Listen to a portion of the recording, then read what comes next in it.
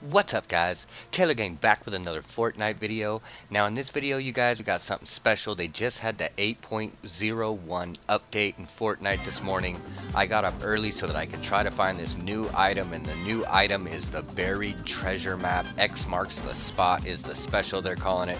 If you guys are new, make sure you smash that sub button, turn on post notifications. We're doing a giveaway on March 31st for $25 to the platform of your choice. If you want to be in there, enter Tayway into the comment section, like this video, and of course be a sub to the channel. Now I jumped a bunch of places you guys and when I say a bunch of places and a bunch of times I am not exaggerating the least bit at all. But on this game right here, I did manage to find the buried treasure map, and I want to share this with you guys so you guys can see what it's like. It is not as common as I thought it would be. I mean, honestly, I thought maybe it would take me one or two games, but it did take me quite a few, and I see a lot of people out there trying to get it. This poor guy. Feels bad, man. Can we get a little conga line?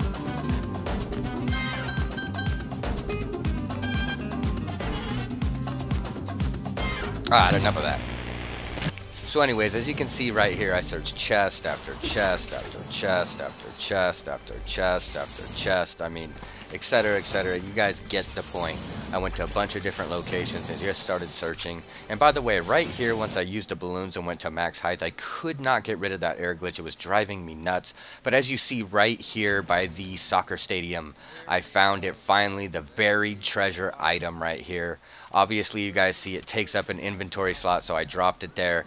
Now, I did check the map and it didn't show anything, but what you see right there, just like in the Season 8 trailer, it does show you it. But you have to look in the sky for it, so you can see right here. And if, I don't know if you give off some kind of glare or if this guy was just looking and saw me and wanted to kill me, but I was thinking, oh no, son, not today. You ain't getting this farmer's buried treasure. Oh, hell no, not Farmer Jonesy. So anyway, we get back over here.